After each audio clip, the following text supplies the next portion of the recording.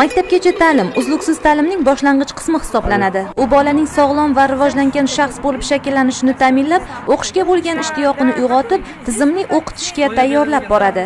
Shu sababli ham bugungi kunda yurtimizda ta'limning poydevori hisoblangan maktabgacha ta'lim tizimini zamon talablari darajasida rivojlantirish bog'cha yoshidagi bolajonlarni maktabgacha ta'lim tashkilotlariga qamrab olish ko'rsatkichini oshirish masalasiga tizimli ravishda e'tibor berilmoqda. Xususan tumanning qamrov darajasi past bo'lgan ayrim hududlarida maktabgacha ta'lim tashkilotlari tarmog'ini kengaytirish davlat xususiy sherikchilik asosida va nodavlat oilaviy maktabgacha ta'lim tashkilotlari tarmog'ini kengaytirish bo'yicha qator loyihalar amalga oshirilmoqda. Tumanimizdagi maktabgacha ta'lim tashkilotlari faoliyati bilan yaqindan tanishish hamda o'z taklif va tavsiyalarini berish maqsadida 24 fevral kuni o'zbekiston respublikasi maktabgacha ta'lim vaziri agrippina shin tumanimizga tashrif buyurdi. Vazir toshyob ovuli obodqal'a aholi punktida joylashgan zebo nodavlat maktabgacha ta'lim tashkilotida bo'ldi. Mazkur muassasa 100 o'ringa mo'ljallangan bo'lib bolajonlarga sifatli ta'lim tarbiya berish bilan birga rus va ingliz tillarida muloqot qilish ko'nikmalari ham o'rgatib kelinmoqda. Vazir muassasa faoliyati va bu yerda tarbiyalanuvchilarga yaratilgan sharoitlar bilan yaqindan tanishar ekan tarbiyachilar oshpazlar to'garak rahbarlari va boshqa xodimlar faoliyatini ham ko'zdan kechirdi. Shundan so'ng vazir boshchiligida tumanimizdagi bir guruh soha mas'ullari mang'it shahrining oybek nomli mahallasi hududida joylashgan 6 sonli davlat maktabgacha ta'lim tashkilotida bo'lishdi. Vazir ushbu tashkilot faoliyati bilan yaqindan tanishdi. Tumanimizdagi ushbu muassasada ham ta'lim tarbiya jarayoni namunali tarzda yo'lga qo'yilgan bo'lib har bir bolaning individual imkoniyatlari qobiliyatlarini xohish istaklarini ehtiyojlarini hisobga olgan holda ta'lim hamda tarbiya berilmoqda. Tashrif davomida vazir tomonidan maktabgacha ta'lim tashkilotlarida ta'lim va tarbiya jarayonlarini xorijiy mamlakatlar tajribasini qo'llagan holda ilg'or pedagogik texnologiyalar asosida tashkil qilish bo'yicha tavsiyalar berildi. Ma'lumki 2022 2026 yillarga mo'ljallangan yangi o'zbekistonning taraqqiyot strategiyasida mamlakatimiz bo'yicha maktabgacha ta'limdagi qamrov darajasini hozirgi 67 foizdan kamida 80 foizga yetkazish reja qilib olingan. 2022-2023 yillarda 6 yoshli bolalarni maktabgacha tayyorlov tizimi bilan qamrab olish darajasini 90 foizga 2024-2025 o'quv yili yakuniga qadar esa 100 foizga yetkazish maktabgacha ta'lim tizimiga xususiy sektor mablag'larini jalb qilish orqali 7 mingdan ziyod yangi nodavlat maktabgacha ta'lim tashkilotlarini tashkil etish asosiy maqsad qilib olingan. Maktabgacha ta'lim vaziri tumanimizda ham maktabgacha ta'lim tashkilotlari sonini oshirish va qamrov darajasini yanada kengaytirish borasida o'z taklif va tavsiyalarini berdi.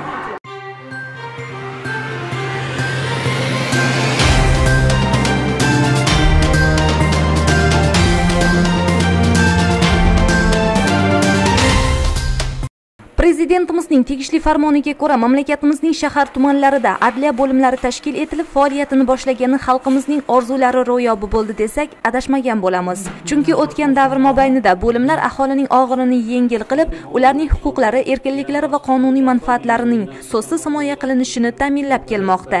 Shuningdek adliya bo'limlari tomonidan davlat hokimiyati va boshqaruv organlarida qonuniylikni ta'minlash va amaldagi qonunchilik talablariga rioya qilinishi doimiy ravishda o'rganilib tahlil qilinmoqda. Natijasi bo'yicha takliflar ta'sir choralari ko'rilmoqda. Yangi qabul qilinayotgan qonun farmon va qarorlar yuzasidan targ'ibot tadbirlarini o'tkazish orqali aholining huquqiy ongi va madaniyati yuksalishiga hissa qo'shmoqda. Jamiyatimizda davlatimizda amalga oshirilayotgan islohotlarning samaradorligiga erishishga harakat qilinmoqda.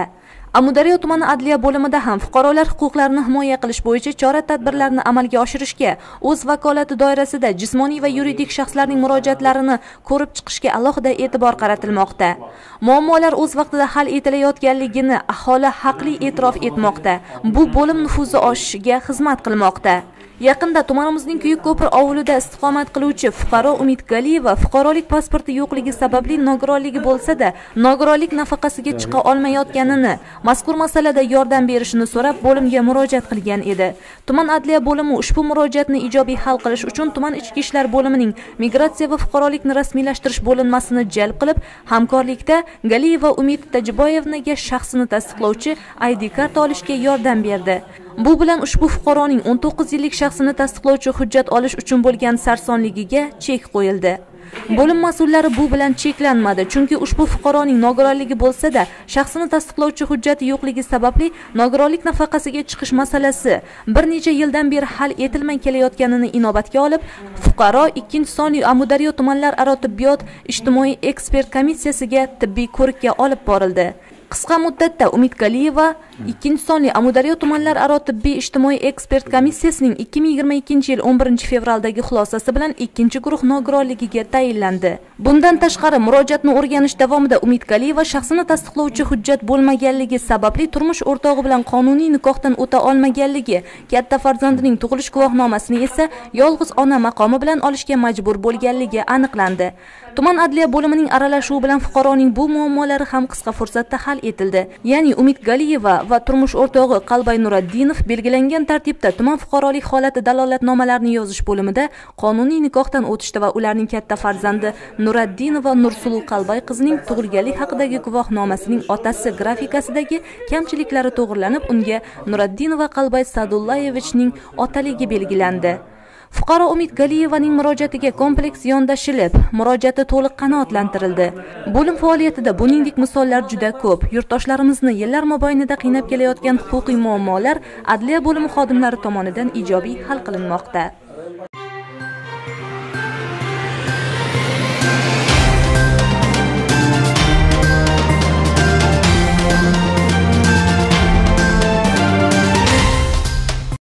Bugun yurtimizdagi barcha hududlar singari amudaryo tumanida ham inson manfaatlari har narsadan ulug' degan ezgu g'oyani hayotga tatbiq etish borasida tizimli ishlar olib borilmoqda.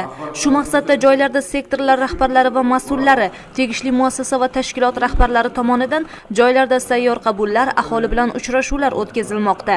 24 fevral kuni tumanning uyshun hamda olmazor mahalla fuqarolar yig'inida navbatdagi sayyor qabul o'tkazildi.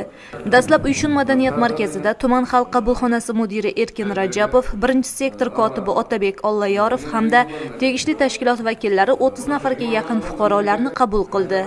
Sayyor qabul davomida fuqarolar tomonidan o'ndan ortiq murojaatlar kelib tushdi. Fuqarolar asosan tomorqalarni oqar suv bilan ta'minlash mahalla hududidagi ayrim ko'chalardan yo'l chiqarish shuningdek mahalla hududida joylashgan 47 hamda 75 sonli umumta'lim maktablariga qo'shimcha obyektlar qurish masalasida murojaat qilishdi.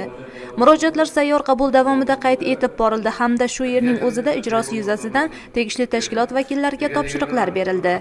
Shundan so'ng davlat kadastrlar palatasi amudaryo tumani filiali xodimi sherzod sultonov tomonidan fuqarolarga onlayn auksionda qatnashib yer olish tartibi haqida tushunchalar berildi.